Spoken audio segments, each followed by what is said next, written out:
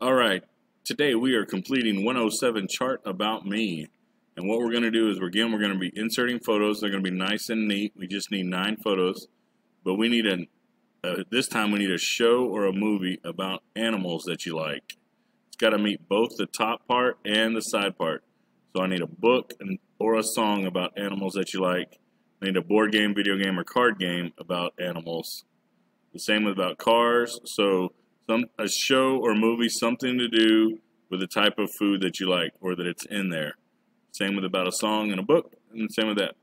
Wrap that up. Nine photos, nice and neat inside the frames, and then turn that in.